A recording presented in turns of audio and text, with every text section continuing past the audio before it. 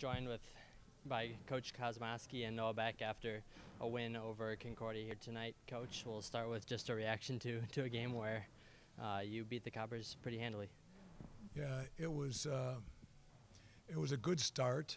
Uh, I think that's one thing that we've needed to concentrate on. Uh, uh, a good start, and it's not just scoring points; uh, it's playing at, at, both ends. And you know, as any game, the first five minutes, both teams get up and down. But I think the last 15 minutes in the first half. I don't know. Uh, our defense was really locked in and locked down. We uh, we were communicating, uh, uh, doing well on, on some of the switching that we were doing, and, and they had a hard time getting into the into the post. And uh, we had seven steals, I think, the first half. And when you can convert some points out of transition from from your defense, uh, that definitely helps feed the offense. And, and you can see by that the confidence. I think we hit 11 threes in the first half. So the defense set the tone for us, and, and our offense fed off of that.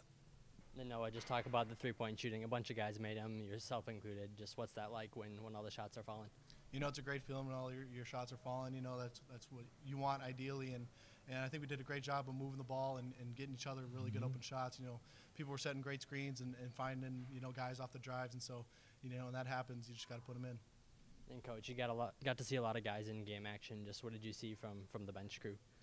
Well, I, I, I know our, our, second unit went in there, got some good solid minutes, and then we were able to incorporate them some throughout the game with the with the first group. And uh, I thought overall they did real well and, and showed some bright spots and the energy that we're going to need. Uh, we got one day. This is another week where we play Monday, uh, Saturday, Monday, Wednesday, Saturday. So uh, we were able to rest some of our veteran players so uh, we can have good legs uh, uh, on Wednesday. And and the second group came in and and and I thought did real well, and and they. Uh, the, the last group that went in probably turned the ball over more than we would like, but we put them in some positions where they weren't uh, uh, haven't worked out at. So, but we just wanted to get them in. they've worked hard this year, and and we wanted to make sure that that those guys got a chance.